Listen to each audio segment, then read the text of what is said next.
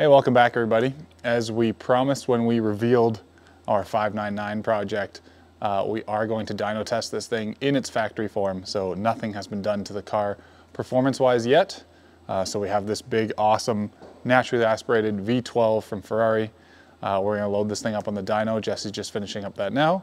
Uh, we're gonna prep the dyno cell here and we're gonna give this thing a couple quick runs and see what kind of power it makes. Uh, worth noting that some media outlets have reported that the 0 to 60 on this car was actually better than advertised from Ferrari. So it'll be interesting to know uh, where the wheel horsepower lands uh, compared to their, their estimated power. So we'll check that out right now.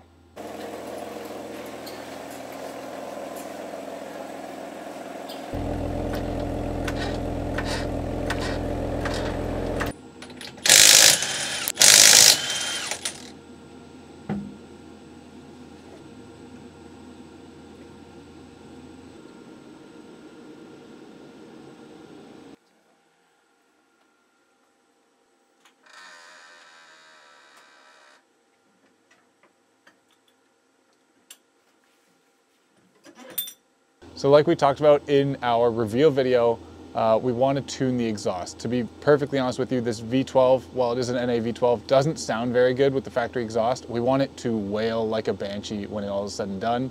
So a big part of this dyno test is to record it from different angles, uh, kind of see what we're working with, and then we can tune it from there to sound much, much better than it already does. So I know what you're thinking, how can a V12 not sound amazing? And it sounds okay, uh, but the GTO version of this car actually has six into one headers from the factory. So the headers we've got for the car are six into one. And it's not just about making the highest volume or the highest pitch possible. We really want this car to sound unique and special in the way Kels does.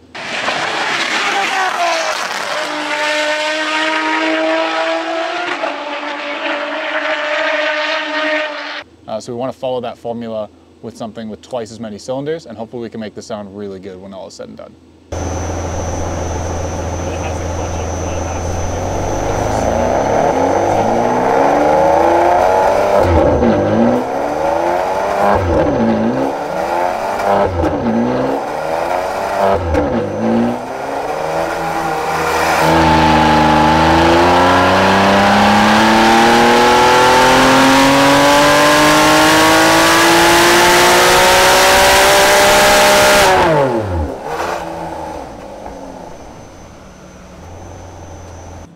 Okay, so we did our first pull here and it made 516 horsepower and the dyno graph is hideous. I mean, it's so bumpy and gross looking.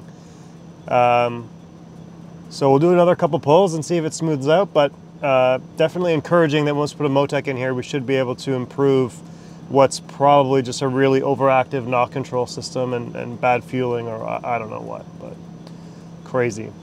Dude, I thought that was like a dyno issue. Is that actually I think that's actually what it looks like, yeah.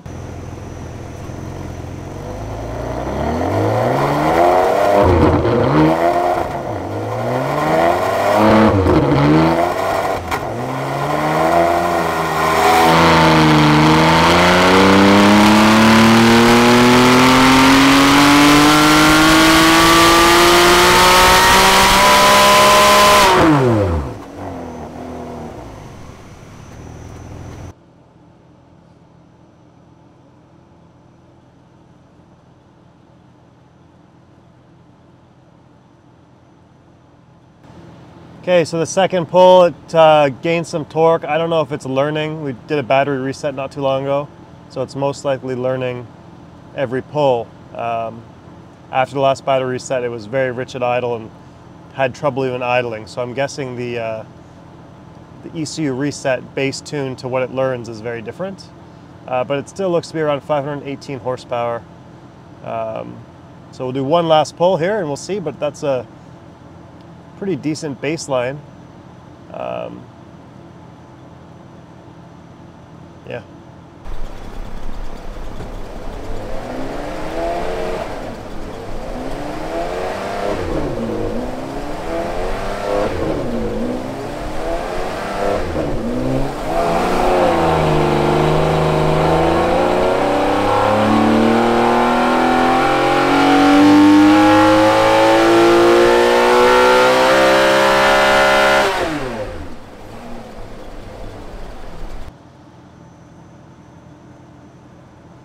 Want to explain what's uh, what's going on here? Yeah, so it's a very lumpy graph. Three big um, humps, one at 4,700, 6,500, and 8,000. And hopefully when we tune it with a Motec, we'll be able to smooth some of that out and recover some of the power in those dips. Um, and with a freer flowing exhaust, hopefully we can also find some more power. So yeah, it's not overly impressive, but it's consistent and the engine sounds healthy, so that's good. All right, so we put this thing on the dyno. Uh, got some interesting results. Um, judging by the graph, you guys have seen it as well. Uh, it runs a little strangely from the factory. This is pretty typical for OEM cars. It's probably, you know, uh, right up against a knock sensor or just tuned very conservatively. Uh, and it's not the smoothest delivery of the power, so we can fix that with a little Motec, but this is pretty typical, kind of what we expected from an NAV12 um, OEM tuned, if you will.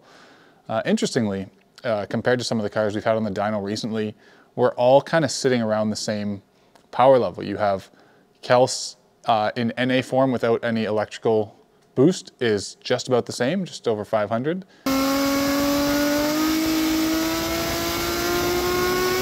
Uh, and the Model 3.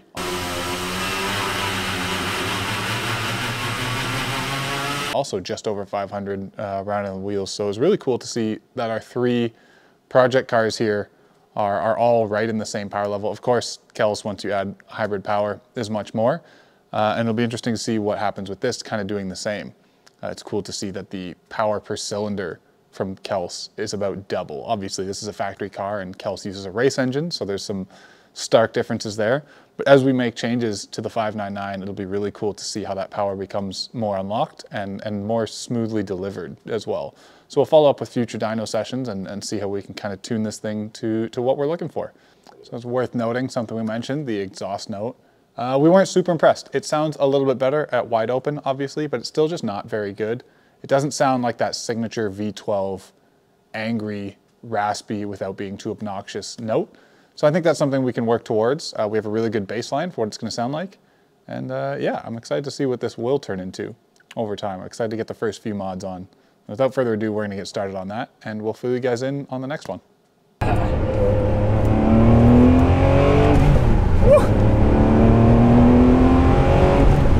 Pretty good. It's running pretty good.